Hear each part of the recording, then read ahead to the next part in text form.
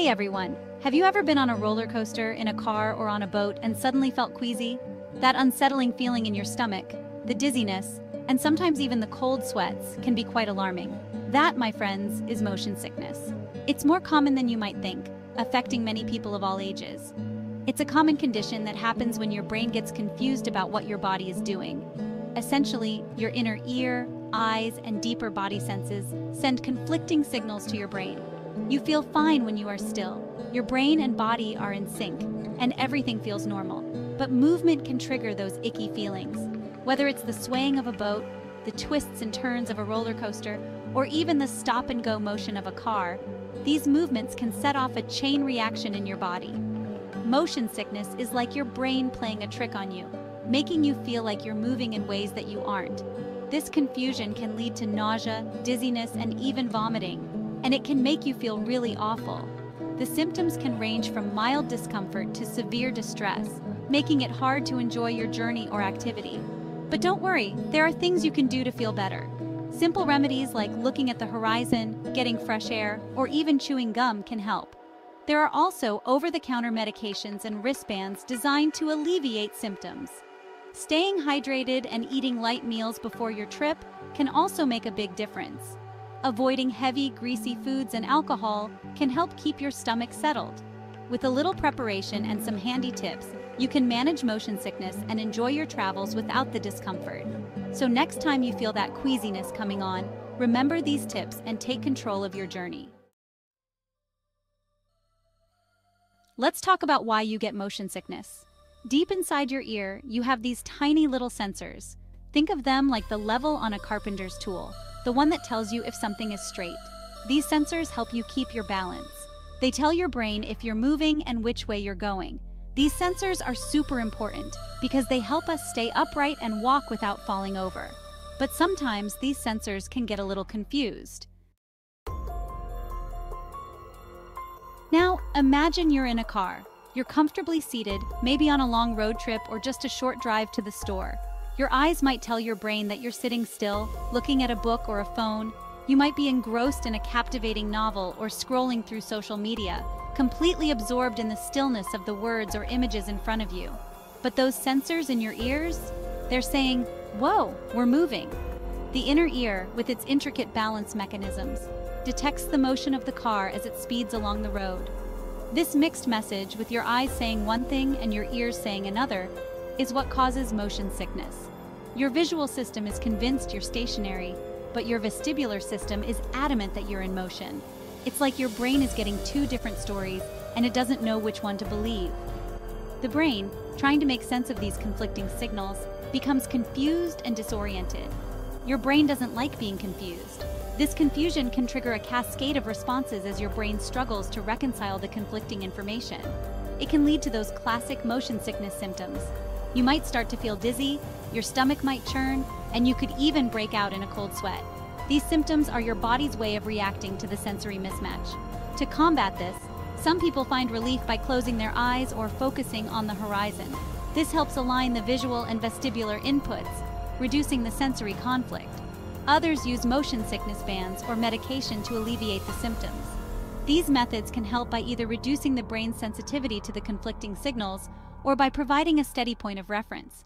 Understanding the cause of motion sickness can help you find the best way to manage it, ensuring that your journeys are more comfortable and enjoyable. So next time you're on the road, remember that your brain is just trying to make sense of the world around you. With a few simple strategies, you can help it along the way. Motion sickness can make you feel really yucky. Some people feel nauseous and dizzy, others get a headache or feel tired. Sometimes you might even vomit, which is definitely not fun. If you start to feel any of these things while you're on the move, it's important to tell someone. Don't try to tough it out. There are things you can do to feel better. Section 5. Who is most susceptible? Anyone can get motion sickness, even astronauts. But it's more common in kids and pregnant women. Some people are just more sensitive to motion than others. It's just how their bodies are wired. Section 6 First Aid for Motion Sickness Finding Relief. Okay, so what can you do if you or someone you're with starts to feel car sick, seasick, or airsick? The first thing is to try to stop the motion. If you're in a car, pull over for a bit. Fresh air can really help. If you can't stop moving right away, there are still things you can do. Section 7. Fresh air and a fixed gaze. Simple yet effective. Try to get some fresh air by opening a window or going outside for a few minutes. It can make a world of difference. Also, try to fix your gaze on something that's not moving, like the horizon or a distant object. This helps your brain get a clearer sense of motion. Sometimes just closing your eyes and taking deep breaths can also help. Section 8. Pressure points and hydration. There's a pressure point on your wrist that you can try pressing. It's about three finger widths below your palm on the inside of your wrist. Gently massage this point in a circular motion. And don't forget to stay hydrated. Sipping on water or a sports drink can also help settle your stomach. Section 9. Over-the-counter remedies. If those things aren't helping enough, there are also over-the-counter medications that can help with motion sickness. These usually come in the form of pills or chewable tablets. It's always a good idea to talk to your doctor or pharmacist before taking any new medications, especially if you have any allergies or medical conditions. Section 10. Preventing motion sickness. Tips for a smoother journey. Now, prevention is always better than cure, right? When it comes to motion sickness, taking proactive steps can make all the difference in ensuring a comfortable and enjoyable journey. Whether you're traveling by car, plane, or boat, there are several strategies you can employ to minimize the risk of feeling unwell. So, here are a few things you can do to try to prevent motion sickness in the first place. These tips are simple yet effective, and they can help you stay ahead of the discomfort. Choose the right seat. If you're prone to motion sickness, try to get a seat where you'll experience the least amount of motion. The location of your seat can significantly impact how much motion you feel. In a car, that's the front passenger seat. Sitting in the front allows you to have a clear view of the road ahead, which can help your brain process the motion more effectively. On a plane, choose a seat over the wing. The wing area is the most stable part of the plane, and you'll experience less turbulence there. Plus, looking out the window can help your brain reconcile the motion it feels with the visual cues it receives. And on a boat, stay in the middle or towards the back. The middle of the boat is usually the most stable, and staying towards the back can help you avoid the up and down motion that can trigger nausea. Avoid reading or using electronic devices. Remember how we talked about confusing signals to the brain? When you're reading or looking at your phone, your eyes are focused on a stationary object, but your body feels the motion. This mismatch can make motion sickness worse. Reading or looking at your phone can make motion sickness worse. Instead, try to focus on the horizon or a distant object. This can help your brain make sense of the motion and reduce the likelihood of feeling sick. Eat light. Avoid heavy, greasy, or spicy foods before and during travel. These types of foods can upset your stomach and make you more susceptible to motion sickness. These can upset your stomach and make motion sickness more likely. Instead, Opt for light and healthy snacks like fruits, crackers, or nuts. Eating small, frequent meals can also help keep your stomach settled. Stay hydrated. Dehydration can exacerbate motion sickness, so make sure to drink plenty of water before and during your journey.